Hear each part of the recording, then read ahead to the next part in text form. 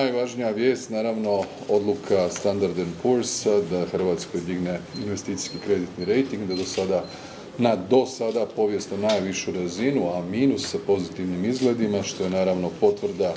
i naših reformi političke stabilnosti, kontinuiteta Vlade, stabilnosti parlamentarne većine, apsorpcije europskih sredstava, investicija, velike zaposlenosti na tržištu rada, najveće u povijesti, milijun 747 tisuća ljudi radi, 83 tisuće nezaposlenih, gospodarski rast oko 3,5% se očekuje ove godine, inflacija malo više vjerojatno od 3%, ali sa trendovima smanjenja plus očekujemo da se udio javnoga duga u BDP-u spusti na ispod 60% na kraju ove godine, što uz niski deficit, dakle uravnoteženu proračunsku politiku predstavlja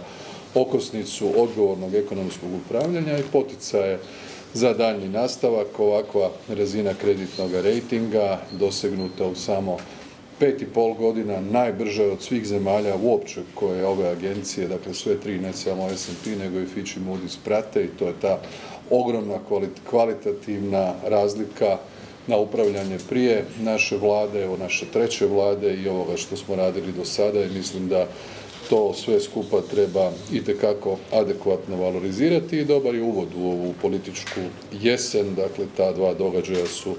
bez ikakve dileme najbitnija. Razgovarali smo i o pripremama za aktualno prijepodne koje počinje u srijedu, dakle nova sjednica Hrvatskog sabora u novim prostorima, dakle u Vojnome sveučilištu na Črnomercu plus popodne rasprava o europskim vijećima.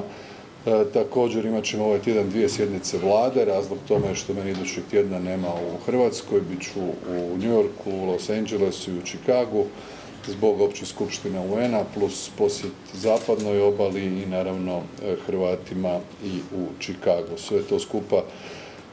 nas dovodi do situacije da održimo sjednicu Vlade i sutra u 2 i u petak u 12 čini mi se, tako smo otprilike planirali. Obavili smo i završne konzultacije danas na stranačkoj razini oko porezne reforme, sutra ćemo još jedan put to proći na koaliciji, predstaviti na GSV-u u ponedjeljak u 10 sati čini mi se i nakon toga će uslijediti javna prezentacija, tako da je cijeli proces itekako dobro i pažljivo zaokružen. Podsjetit ću još jednom, reforma je naravno rasterećujuća, akcent je sa oporezivanja rada tj. plaća i dohotka na oporezivanje imovine, transformacija postojećeg lokalnog poreza na kuće za odmor, balansirano sa ciljem omogućavanja priuštivoga stanovanja našim mladima, našim obiteljima i u pogledu kupoprodaje, a i u pogledu cijena najma. Sve je to zaokruženo jer je to jedan od segmenata koji je vezan i za demografsku politiku i promjene ovih negativnih trendova koje imamo prije svega uzrokovane starenjem stanovništva. Također ministar Grlić Radman nas je izvijestio o ovoj nepravomoćnoj presudi kapetanu Bekavcu koja se dogodila u Turskoj danas. Mi smo u cijelom ovom procesu intenzivnu pomoć i pravnu i diplomatsku pružali gospodinu Bekavcu i u kontaktu smo s njegovom obitelji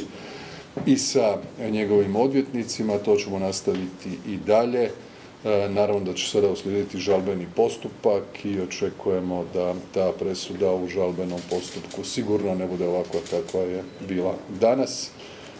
U svakom slučaju nastavit ćemo mu pružati maksimalnu podršku. Evo, to je otprilike sve što se tiče današnjih rasprava.